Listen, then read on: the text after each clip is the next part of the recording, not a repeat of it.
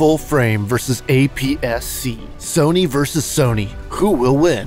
The Sony a7C II or the Sony a6700 have better low light performance? We compared both cameras to see what ISO noise starts at. Both cameras had no noise until ISO 12800 and both cameras image was sharp at ISO 25600, but the a6700 shows just a bit more noise at ISO 51200. Both cameras offer a good low light performance, but the a7C II offers just a slight edge when shooting at high ISOs.